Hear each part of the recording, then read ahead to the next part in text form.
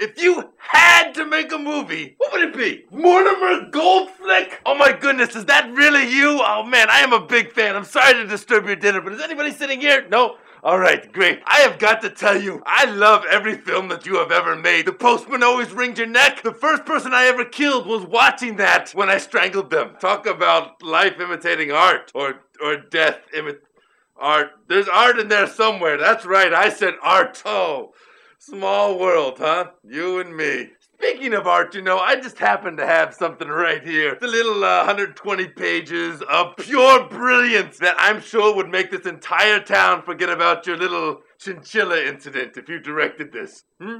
Oh no no no! I'm not. I'm not eating with him. I've just stopped by to schmooze. But you know what? Why don't you be a sweetheart and uh, bring me uh, Jessica Simpson sandwich on rye and uh, black cow. Go easy on the cow. Anyway, I didn't come here to tell you about the menu. Came here to give you this. It's called Ninja's Song. Here's the pitch. So it's the story of this awesome ninja. Yeah, you know they say write what you know. Guilty. Anyway, this awesome ninja. He keeps taking everything he kills and forming it into this giant ball that looks like the space station. That we then find out is actually a giant space station that's being run by this crazy doctor who has a time machine that he uses to go back in time and sink unsinkable ships. But to make matters worse, or hilarious, the ninja's caught in this love triangle with this woman that he's known for a long time, but the timing has never been just right for them to really get together. And this murder mystery novelist who keeps eating boiled rabbits to keep her flesh fresh so people don't realize that she's a replicant. So the three of them are going round and round. Meanwhile, this big shaggy dog gets bitten by a radioactive spider right after making a wish that he was a wisecracking cop with marital problems. His name is Shaggy McParker. Now, he teams up with the ninja after they both make a deal with God to teach an adolescent magician the true meaning of Christmas. That's Act 1. Where was I? This is delicious. Oh, right. Right about that time, this pirate shows up, and he has this ark that everybody thought was lost, and he's gonna sell it to the New York Mafia to save his house from being torn down.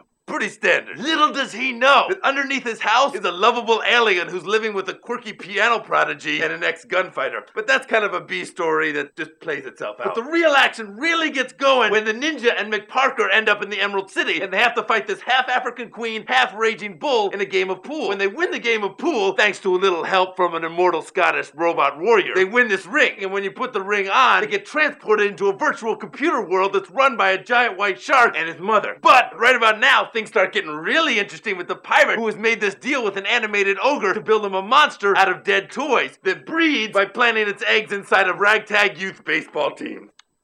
Hmm. You are right. That osso buco is to die for. Hiya! Just kidding.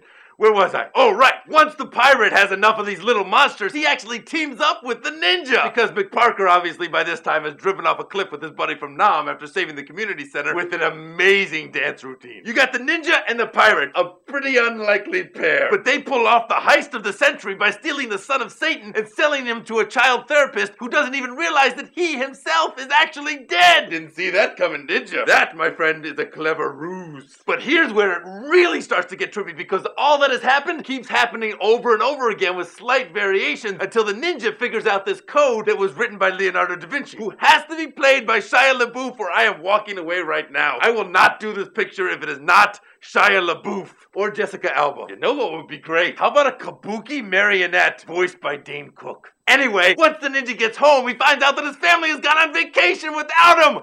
After a pretty crazy party to raise some traveling cash, he sets out on a hilarious cross-country road trip with a British secret agent, a grungy groundskeeper, and King Arthur. You see where I'm headed? The whole thing wraps up, as you probably have already guessed, in a big Busby Berkeley production number slash death match that takes place in a football stadium that's slowly filling up with lava from an underground volcano that was released by mutant dinosaurs who I'm thinking can talk, and I'm thinking it's the cast of Ocean's 13. The rest of it is pretty much your standard Fellini, Spielberg, Apatow-esque denouement. Read it, love it. This is a hot property, so you are not gonna want to sit on this too long. I will have my people stab your people. You like it. I can tell by your look. You're thinking, I can do this. I would love to stay for dessert, but I have got places to hide and people to kill. Thanks for the question, Bradly. I look forward to final cutting you soon. Hey, Letterbox. I just got done moving a bunch of lava up from the earth, so I'm sorry if the goddamn chicken got cold. That was Al Pacino as a mutant dinosaur.